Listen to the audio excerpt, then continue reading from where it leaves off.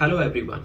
It is really important that we design, we fabricate, we use correct material, test, inspect and operate different piping and pipeline system based on the correct code. There are different codes so it is really important to know the scope application of these codes. So we know that in what particular industry, what particular scenario, what code we should use.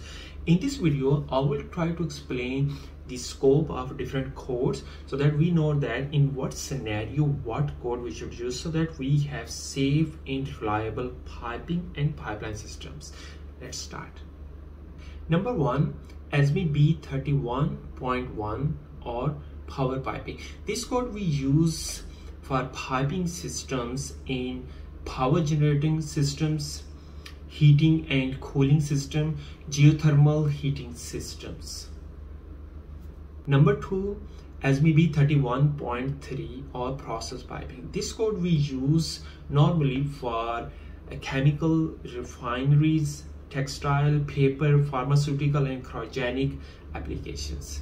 Number three is the ASME B31.4 pipeline transportation system for liquid and slurries.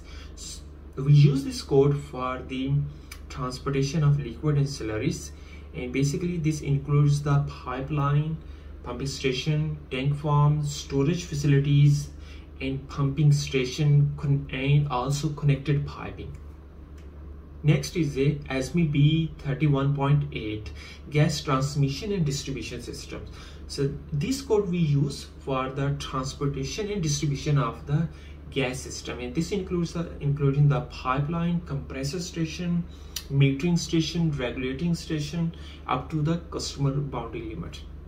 Next is a ASME B31.9 and this is a building service piping this code we use for the piping we use for our industrial commercial building and those piping which does not cover in the range of um, uh, ASME B31 temperature and pressure Next is ASME B31.12 which is a hydrogen piping and pipeline. This code we use for the gaseous and liquid hydrogen piping and this includes piping up to the joint of the equipment but not it equipment itself. I hope this video was helpful to you. If you like this video just press the like button and until my next video take care and bye